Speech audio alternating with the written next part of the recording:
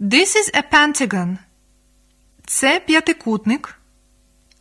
The pentagon has five sides. У п'ятикутника п'ять сторін. This box is in the form of pentagon.